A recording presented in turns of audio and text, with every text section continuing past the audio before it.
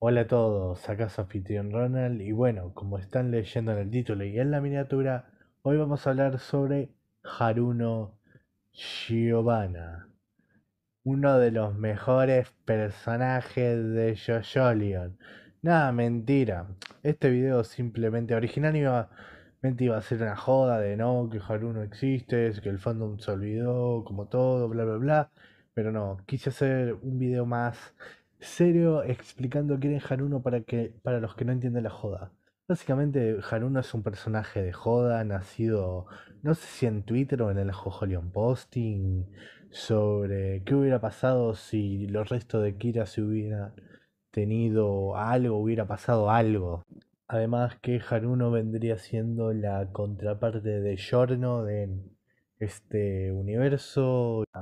Esto lo estoy grabando después porque quiero incluir alguna que otra cosa más para detallar un poco más el personaje de Haruno, ¿ok?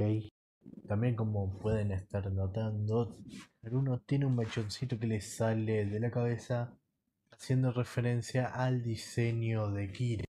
Además también se puede ver que tiene colores opuestos a los de Yosuke.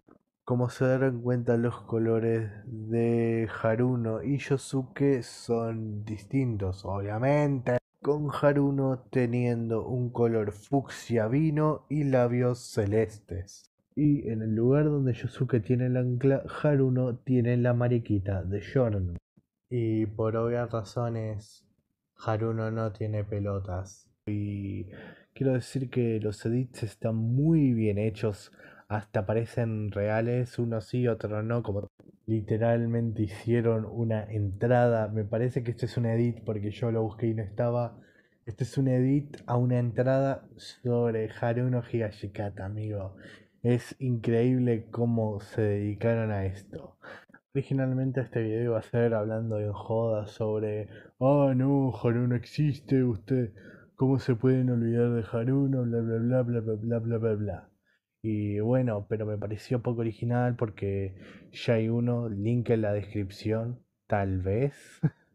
y bueno, ahora quiero hablar de algo que pasó en un grupo de JoJolion, que sería en el JoJolion Posting, de que por publicar a Haruno alguien empezó a insultar diciendo que no, que no existe, son tontos, bla bla bla bla bla bla, y lo banearon. Y quiero decirles y ahora déjenme decirles esto. Que a ustedes no les guste una joda está perfecto. A ustedes les gusta lo que se les cante.